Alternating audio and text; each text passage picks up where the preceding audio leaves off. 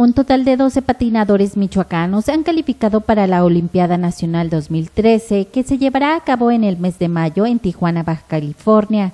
La selección se lleva a cabo durante el Campeonato Nacional Interasociaciones de Patines sobre Ruedas que se desarrollará hasta el 4 de febrero en el Secufit de Morelia. Mañana terminamos con las pruebas de resistencia.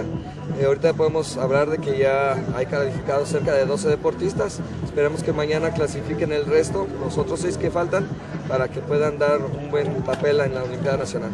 En el campeonato participan 1.382 deportistas de 24 estados como Nayarit, Chiapas y Michoacán en las modalidades de patinaje artístico, hockey sobre ruedas y patinaje de velocidad, buscando su clasificación para la Olimpiada Nacional, que se desarrollará del 5 al 13 de mayo en Tijuana, Baja California.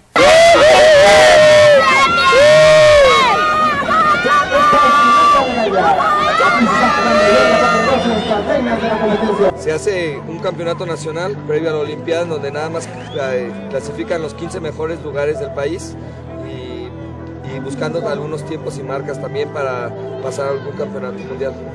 Los michoacanos se encuentran motivados por representar al Estado. Algunos ya tienen mucha experiencia, como Sandra Pérez, quien competirá en la categoría de velocidad. Varias veces desde el 2009 Mm, pues espero ganar alguna medalla en 300 metros o 500. le voy a echar muchas ganas.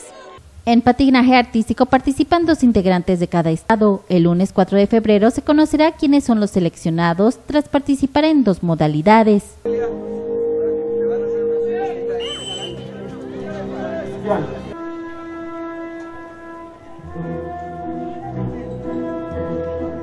La primera modalidad es el estilo libre individual, que consiste eh, dentro de una música que dura en el programa corto son elementos obligatorios y dura 2 minutos 25 segundos.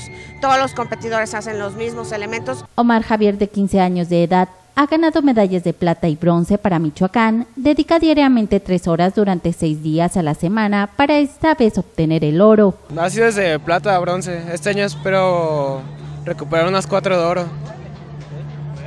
En patinaje infantil mayor, Raúl Melgoza representará al estado con tan solo 12 años de edad.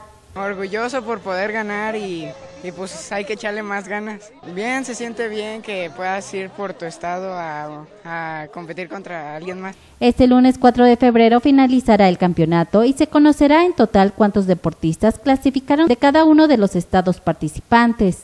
Con información de Miguel Ángel Sánchez, informa Cuasar TV.